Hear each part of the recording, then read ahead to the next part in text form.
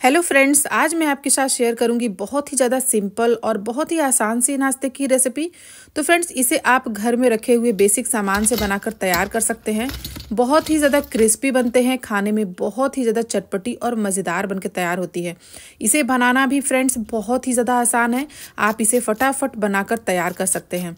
तो friends there नहीं करेंगे रेसिपी बनाना शुरू करते हैं। एक छोटी सी रिक्वेस्ट है, अगर वीडियो ज़रा भी अच्छी लगे तो प्लीज़ आप मेरे चैनल को लाइक शेयर और सब्सक्राइब करना बिल्कुल भी ना भूलें। तो इस रेसिपी को हम एक कप पोहे से बनाकर तैयार करेंगे, जो बहुत ही ज़्यादा स्वादिष्ट और क्रिस्पी बनके रेडी होती है। इसके लिए यहाँ पे मैंने एक कप पोहा लिया है। तो पोहा यहाँ पे आप किसी भी तरह का ले सकते हो, मोटा या पतला। मैं नॉर्मल इस तरह का पोहा लेकर इस रेसिपी को तैयार करूँगी। तो यहाँ पे एक मिक्सी का जार लिया है। इस मिक्सी के जार में हम पोहे को ऐड कर देंगे और इसके बाद हम इसे ग्राइंड कर लेंगे। तो यहाँ पे हमारा पोहा बहुत अच्छे से ग्राइंड हो गया है। जिस तरह से सूजी होती है ना, बिल्कुल वैसी ही दरदरी सी होकर तैयार हो जाती है। तो यहाँ पे हमारा पोहा तैयार हो गया है। इसे हम साइड में रखेंगे। दूसरी तरफ़ यहाँ पे दो कच्चे आलू लिए हैं मैंने। तो इसे मैंने अच्छे से छील लिया है। अब हम इसे क्या करेंगे? ग्रेट कर लेंगे। तो यहाँ पे आलू को छोटे वाले ग्रेटर से ग्रेट करके हमें यूज़ करना है। तो यहाँ पे आलू की क्वांटिटी मैंने थोड़ी सी ज़्यादा रखी। आप यहाँ पे सिर्फ़ एक आलू का भी यूज़ कर सकते हैं। फ्रेंड्स, आलू से इसका स्वाद बहुत ही ज़्यादा अमेजिंग आता है। आप इसमें आलू ज़रूर यूज़ करें। उसके बाद आलू को आप देख सकते हो, मैं इसे बहुत अच्छे से वॉश कर लूँगी ताकि जो भी इसका स्टार्च होगा वो निकल जाएगा। और इसके बाद हम इसे भी साइड में रखेंगे। दूसरी तरफ़ गैस पे मैंने पैन रखा है। थोड़ा सा ऑयल ऐड कर देंगे। ऑयल के गर्म होने पर एक चम्मच जीरा वन फोर्थ चम्मच हींग और दो ग्रीन चिली को मैं यहाँ पे बारीक कट करके यूज़ कर रही हूँ। साथ ही मैं दो चम्मच यहाँ पे मैं सफ़ेद तिल ऐड कर दूँगी। बिल्कुल हल्का सा हम यहाँ पे इसे रोस्ट कर लेंगे।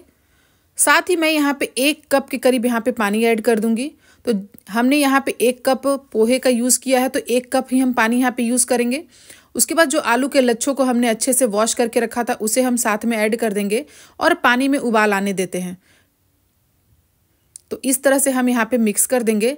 साथ ही मैं यहाँ पे स्वाद के अनुसार नमक ऐड कर दूँगी और एक चम्मच मैंने यहाँ पे चिली फ्लेक्स ऐड किया है, वो डाल देंगे और यहाँ पे पानी में उबाल आने देते हैं। तो यहाँ पे आप देख सकते हैं फ्रेंड्स, पानी में अच्छा सा उबाल आने लगा है। जैसे ही पानी में उबाल आने लगेगा, हम क्या करेंगे? जो हमने पोहे को ग्राइंड करके रखा है, वो हम इसमें ऐड कर देंगे। और इसके बाद इसे हम अच्छे से मिक्स कर लेंगे। साथ ही यहाँ पे मैं दो चम्मच के करीब बेसन ऐड करूँगी। बेसन से फ्रेंड्स, इसका स्वाद बहुत ही ज़्यादा अमेजिंग आता है। आप इसमें ज़रूर ऐड करें। डालने के बाद हम इसे बहुत अच्छे से मिक्स कर लेंगे। ताकि इसमें लम्स, गुठलियाँ बिल्कुल भी ना बने और बिल्कुल डो जैसा हमें इसे बनाकर तैयार करना है। तो इसी तरह से हमें मिक्स करते जाएँगे और इसे बिल्कुल डो जैसा हमें इसे बना लेना है। तो फ्रेंड्स, इसे पकने में ज़्यादा समय बिल्कुल भी नहीं लगता है। बहुत ही कम टाइम में ये बन तैयार हो जाता है।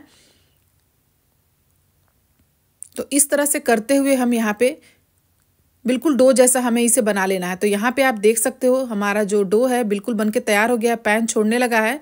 लास्ट में यहाँ पे मैं धनिया पत्ती ऐड कर दूँगी। और इसके बाद इसे मिक्स कर लेंगे। तो फ्रेंड्स ये रेसिपी बहुत ही ज़्यादा टेस्टी बनती है, बहुत ही ज़्यादा अमेजिंग सा नाश्ता है। आप बनाकर इस आप स्टोर करके भी रख सकते हो। दो से चार दिन आप ये स्टोर कर सकते हैं इसे। तो यहाँ पे हमारा डो बन के बिल्कुल तैयार हो गया है। दूसरी तरफ़ मैंने यहाँ पे एक थाली ली है और इसके पीछे वाले साइड में मैं थाली को पलट कर और यहाँ पे थोड़ा सा ऑयल से ग्रीस कर लूँगी।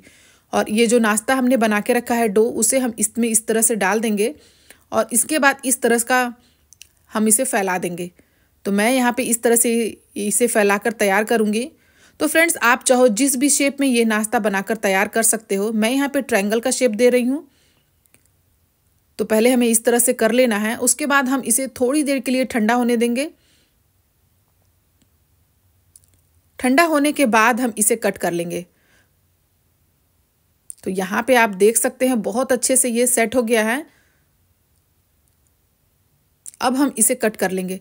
तो फ्रेंड्स आप इसे मन चाहे पीसेज में कट कर सकते हैं।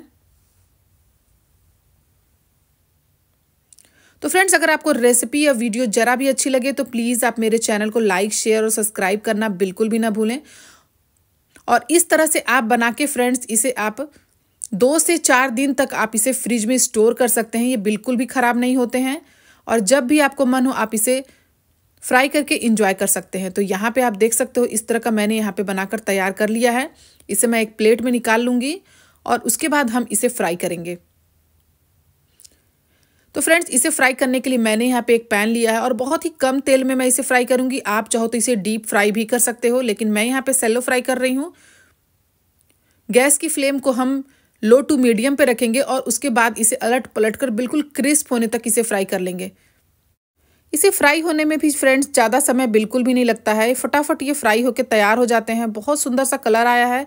आप देख सकते हैं। कभी भी आपके घर कोई भी गेस्ट आए फ्रेंड्स, आप ये रेसिपी ज़रूर एक बार ट्राई करें। सभी को बहुत ज़्यादा पसंद आएगा। बहुत ही क्रिस्पी बनती है और बहुत ही ज़्यादा मज़ेदार लगती है। आप चाहो तो इसमें कुछ स्पाइसेस वगैरह भी ऐड कर सकते हैं। और ये देखिए, मैंने यहाँ पे सभी को फ्राई कर लिया है। अब मैं इसे निकाल लूँगी। तो किसी भी जाली वाले बर्तन में आप इसे पहले निकाल लें ताकि जो भी एक्स्ट्रा ऑयल होगा नीचे आ जाएगा और इसी तरह से हम सभी को फ्राई करके तैयार कर लेंगे। तो यहाँ पे आप देख सकते हो जो हमारा नाश्ता है, बहुत ही क्रिस्पी बन के तैयार हुआ है। तो फ्रेंड्स ये रेसिपी आप एक बार ज़रूर ट्राई करें। बहुत ही सिंपल है इजी है, घर में रखे हुए बेसिक सामान से बन के तैयार हो जाता है और खाने में उतना ही ज़्यादा ये स्वादिष्ट लगता है। और इस तरह से आप बनाकर कभी भी आपके घर कोई भी गेस्ट हो तो फ्रेंड्स आप इस रेसिपी को एक बार ज़रूर ट्राई करें। तो फ्रेंड्स मैं आपको तोड़ के भी दिखाती हूँ, आप देख सकते हो अंदर का टेक्सचर तो आप भी इसी तरह से बनाएँ और इन्जॉय करें। वीडियो पसंद आए तो चैनल को लाइक शेयर सब्सक्राइब करना बिल्कुल भी ना भूलें। फिर मिलते हैं फ्रेंड्स ऐसे ही नई रेसिपी के साथ नए वीडियो में। Okay bye and take care friends